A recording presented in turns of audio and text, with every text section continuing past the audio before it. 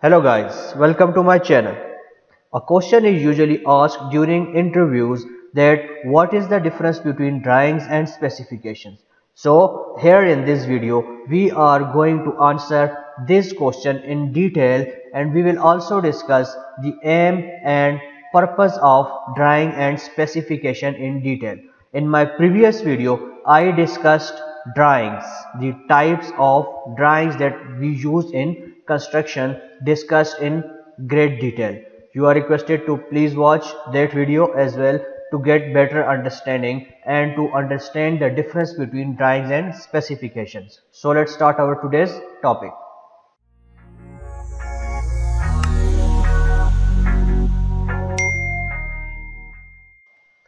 First of all, drawings. It is simply the arrangement and joining of lines to express ideas. Drawing is the use of various types of line to show the forms on paper etc. Working drawings are completely dimensioned views accompanied by all necessary notes. Working drawings are supplied to all the trades involved in that particular job. A complete set of drawings for structure usually include three major sections. These three major sections are discussed in my previous video, the link of which is given in the description. I discussed every detail that what information can we get from these drawings is discussed in that video. Please also watch that video. Uh, three major sections are first one is architectural, second one is structural, third one is mechanical and electrical and within three major sections are subdivisions usually assembled in following order. First one is plot plan, second one is foundation plan, third one is floor plan, fifth one is elevation plan and last one is sectional drawing and detailed drawings. Now coming towards specifications. Specifications are defined as a written or printed description for contract purposes for a structure or equipment. Now specifications could be for both structure or equipment and the materials and workmanship standards required on a particular job by the architect and structural engineer. Okay. What are specifications? Specifications are written or printed descriptions in which the specifications about structure or equipment and the materials and workmanship standards are entered uh, and written on the prescription or on the directions of the architect or the structural engineer.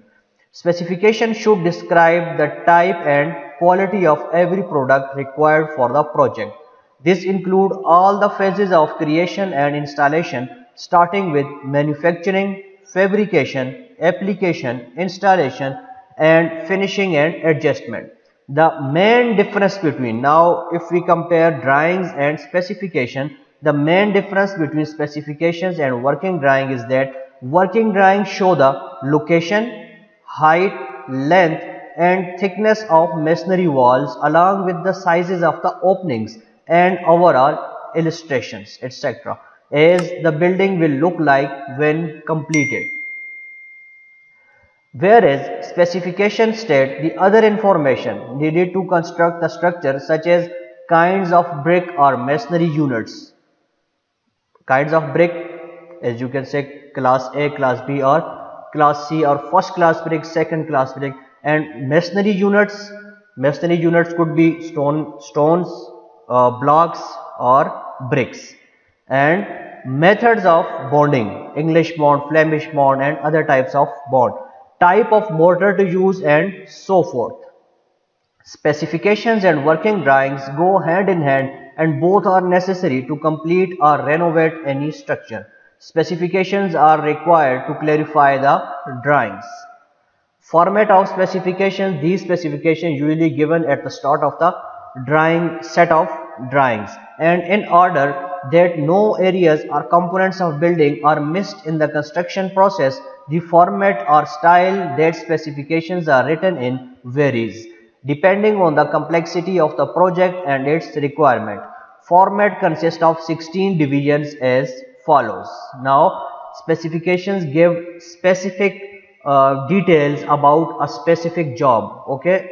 So as you can see division 1 is about general requirements. Division 2 is site work.